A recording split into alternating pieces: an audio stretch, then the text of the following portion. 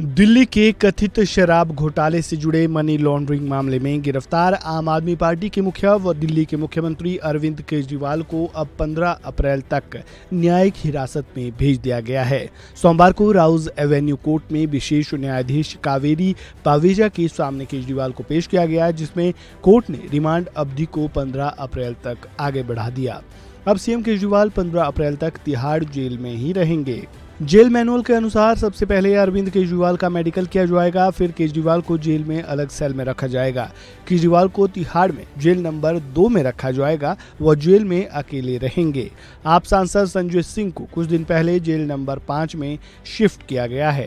केजरीवाल के जितने करीबी हैं, सारे इसी जेल में बंद है, जिनमें Manish Sisodia jail number one, Sanjay Singh jail number पाँच, सत्येंद्र जैन जेल नंबर सात के कविता जेल नंबर छः और विजय नायर जेल नंबर चार में हैं। वहीं बात अगर केजरीवाल के जेल रूटीन की करें तो जेल में सुबह सूरज निकलते ही कैदियों की सेल और बैरक को खोल दिया जाता है। इसके बाद केजरीवाल को सुबह साढ़े दस बजे खाने में दाल, सब्ज़ी और पाँच रोटी या फिर चावल दिए जाएँगे।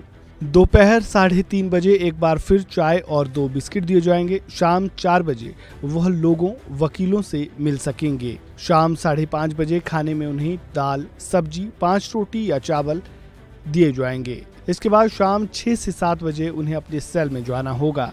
सुबह पाँच बजे से रात ग्यारह बजे तक वे टीवी में 18 से 20 चैनल देख सकते हैं, जिनमें स्पोर्ट्स, न्यूज़ और मनोरंजन के चैनल शामिल है।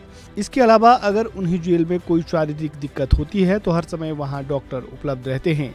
केजरीवाल हफ़्ते में दो बार अपने घर के लोगों से मुलाकात कर सकते हैं। मुलाकात उन्हीं से होती है, जिनके नाम पहले से लिखे होते हैं।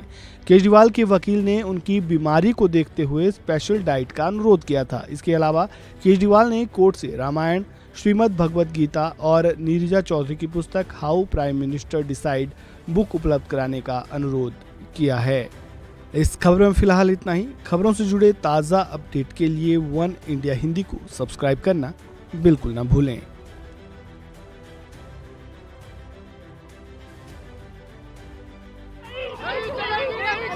मोदी